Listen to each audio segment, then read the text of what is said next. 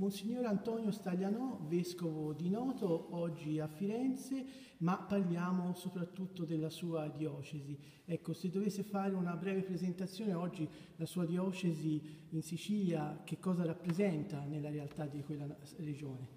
Ma anzitutto eh, potrei dire con enfasi, e voi mi comprenderete, la diocesi più bella del mondo, Noto, a parte gli scherzi, certo è una diocesi nella quale come come qui a Firenze il tema della bellezza può diventare eh, una, via, eh, una via per l'evangelizzazione. Eh, famoso è il barocco netino che trova proprio nella cattedrale della nostra diocesi la sua espressione più sublime.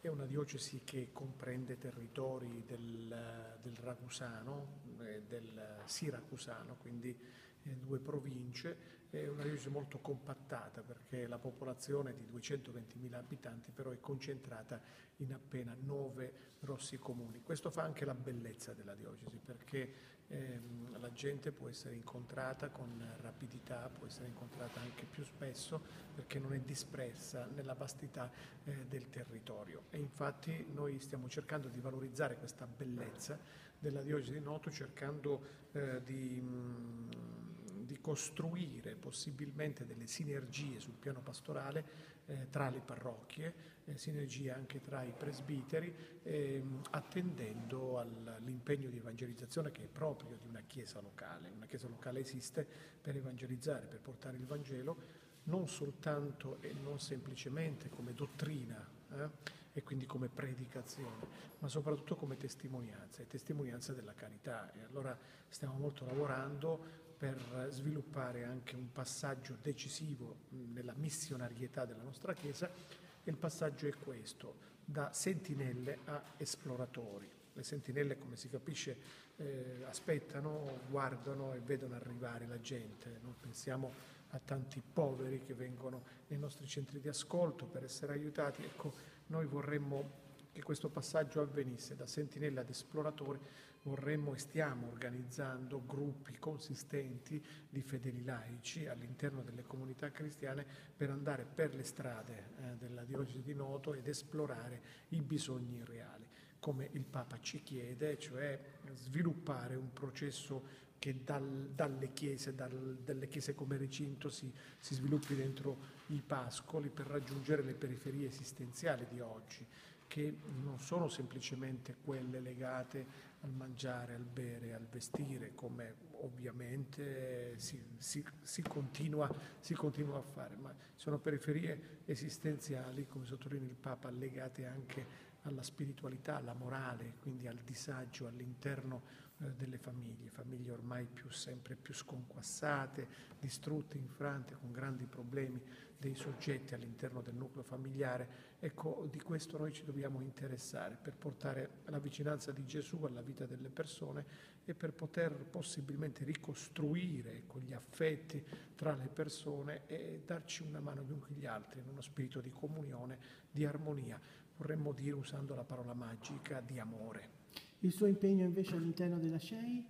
Beh, mm, per la CEI io sono uno dei membri della Commissione Cultura e Comunicazioni Sociali e da questo versante sono impegnato anche all'interno della regione ecclesiastica di Sicilia come delegato dei vescovi siciliani per la cultura e le comunicazioni sociali. L'impegno culturale è un impegno decisivo oggi perché come già Giovanni Paolo II e prima ancora lo stesso Paolo VI nell'Evangeli Nunziandi eh, sostenevano una fede che non diventa cultura, cioè che non diventa ethos, comportamento, costume, stile di vita, è una fede non interamente pensata, non pienamente, pienamente accolta.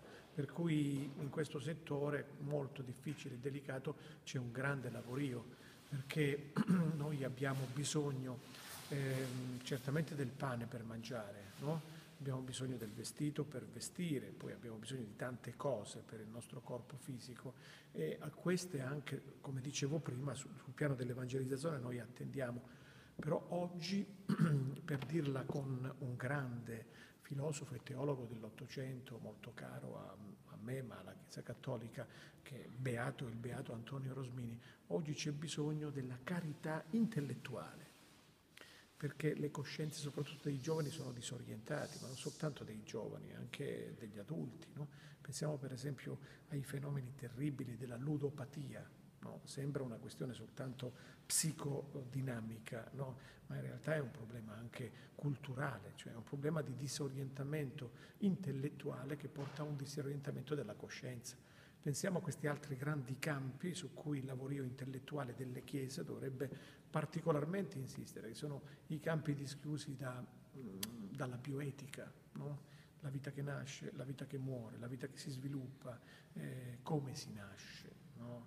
Eh, e come si muore e, e come si soffre anche durante l'iter del nostro crescere. Ecco, queste sono domande importanti in un mondo come oggi dove la tecnologia è invasiva no? e, produce, e, produce, tante possibilità, eh, tante possibilità di qualità della vita, però produce anche condizioni e casi in cui il soggetto umano eh, potrebbe diventare eh, da soggetto oggetto e da, da soggetto anche a strumento eh, si potrebbe ingenerare, ecco qui il lavorio intellettuale eticamente eh, eh, orientato, si potrebbe ingenerare l'atteggiamento dell'uomo che manipola no?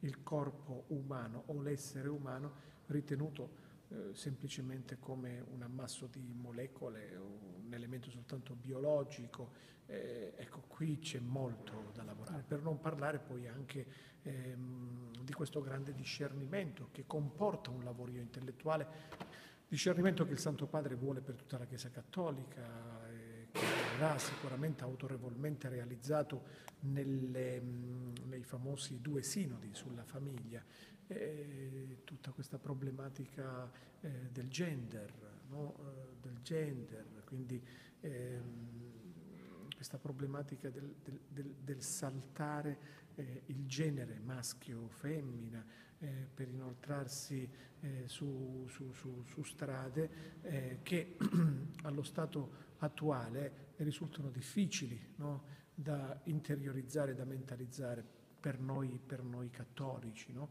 Eh, tutte le problematiche legate anche alle minoranze, pensiamo anche alle questioni degli immigrati.